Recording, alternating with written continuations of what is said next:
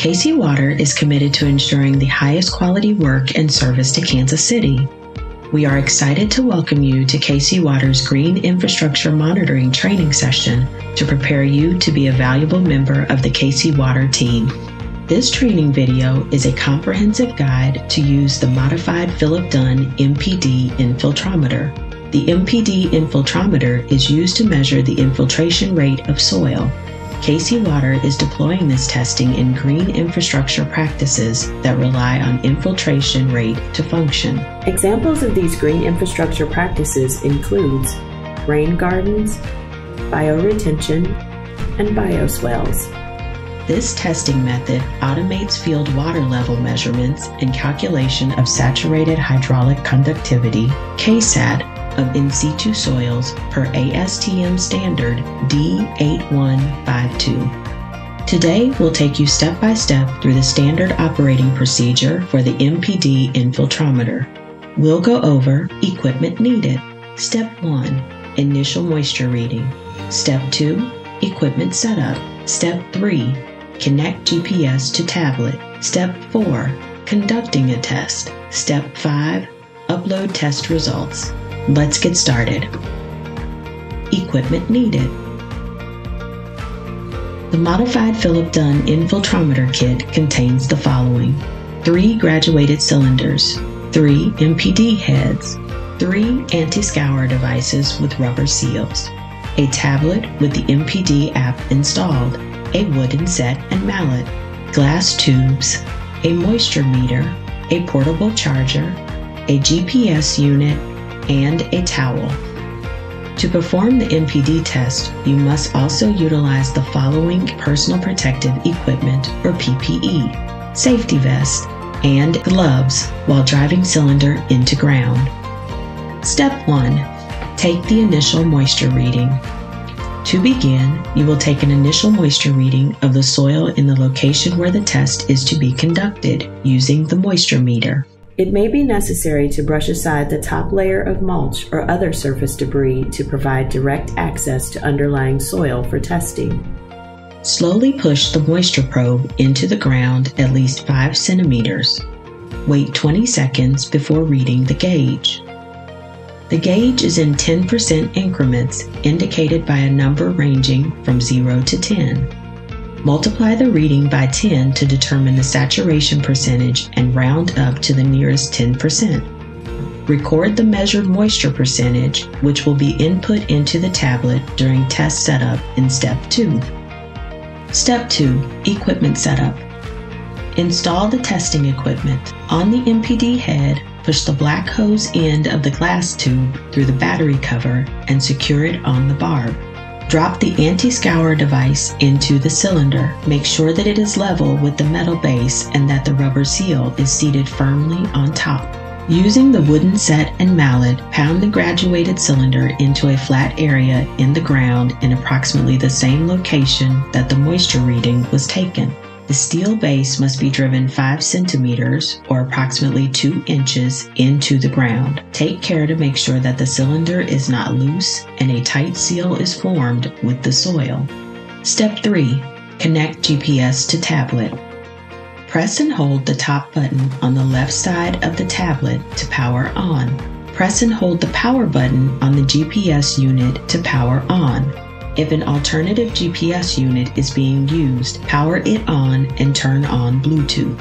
On the tablet, touch the middle top of the screen and slide down to produce the tablet menu and turn on Bluetooth. A menu will appear. If using the GPS unit that was included in the MPD infiltrometer kit, select Garmin GLO.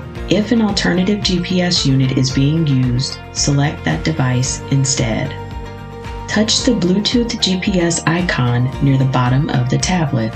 An app will appear displaying the paired GPS unit. Make sure that the box next to Enable Mock GPS Provider is checked, then touch the Connect button. On the GPS unit included in the MPD infiltrometer kit, success is indicated when the blue light is solid. GPS coordinates are recorded only at the time a test is started. Make sure that the GPS unit is near the MPD infiltrometer at this time. Once the tablet is paired with the GPS unit, future use will only require the following steps. Turn on the GPS unit. Make sure Bluetooth is turned on. Launch the Bluetooth GPS app. Press the Connect button in the app. Step 4. Conducting a test. Make sure that the GPS unit is on, paired, and near the MPD infiltrometer.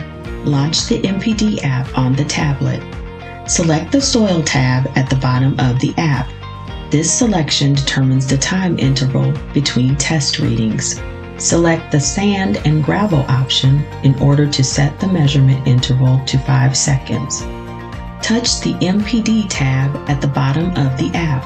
To turn on the MPD head, press and hold the button on the top of the head until the red and green lights turn on. Two green flashes indicate that the head is on. Three green flashes indicate that a test is running. One red flash indicates that a data point has been measured. When the MPD head is turned on, a green bar displaying MPD ID and status will appear on the app. Tap the green bar and a dialog box will appear. If prompted for the soil time interval, select 5 seconds, sand, and gravel. Enter the initial moisture reading taken in step 1 and the test name. Do not begin the test yet. Fill the cylinder with water to a minimum of 30 centimeters, approximately 12 inches. Place the MPD head and hose in and on the cylinder. Select Submit and Begin Test on the tablet. The bar on the app will now appear orange, indicating that a test is running. The MPD head will measure the water head drop over time and automatically record data. Allow the cylinder to drain completely before finalizing the test. The test will typically take 45 minutes to an hour, depending on soil conditions.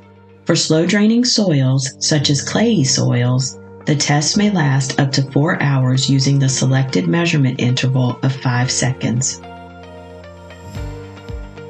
When the cylinder has drained, tap the orange bar in the app. A dialog box will appear. Set the tablet aside, remove the MPD head, and set it aside, then remove the cylinder from the ground. Take a final moisture reading in the same location as before. On the tablet, enter the final moisture reading and then tap Finalize Test. At this point, all data will transfer from the MPD head and will be stored on the tablet under the Files tab on the app. A new test can now be conducted. Step 5 Upload test results. Touch the Files tab. Active files and uploaded files are separated between two screens with tabs at the top to go between screens.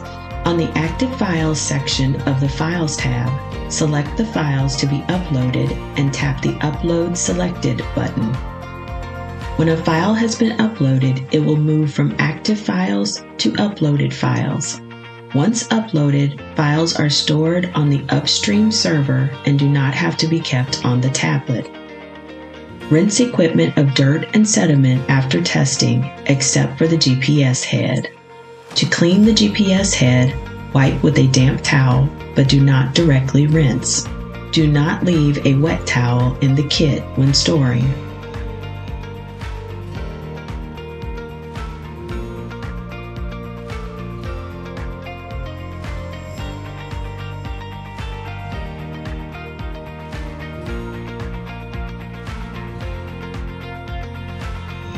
Training Overview This concludes the training of the modified Philip Dunne MPD infiltrometer. Today you learned how to perform a modified Philip Dunne MPD infiltrometer test, including the equipment and steps required. Thank you for taking the time to participate in this training. You play a critical role in ensuring that KC Water remains committed to sustainability, safety, and quality service.